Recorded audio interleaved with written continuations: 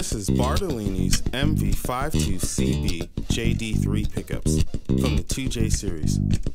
This bass guitar was built by Warrior Instruments, the necks made of maple and the body made of swamp ash, giving you a snappy, twangy tone.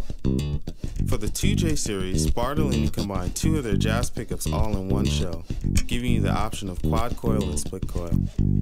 This is Bartolini's MV52CB JD series.